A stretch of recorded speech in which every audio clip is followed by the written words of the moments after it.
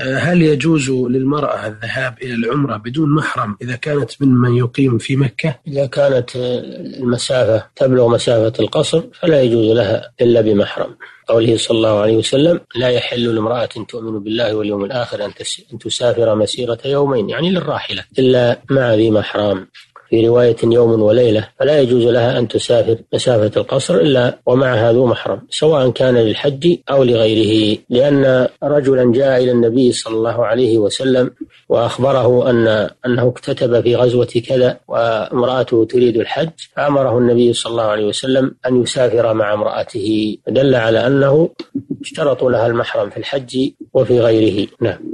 بمعنى أنه إذا كان خروجها للعمرة من مكة أقل من سفر قصر فإنها يصح لها بدون محرم. بدون محرم لكن إذا كان في ذلك فتنة أو يخشى عليها فلا تخرج. إنما إذا أمنت الفتنة نعم. أثابكم الله.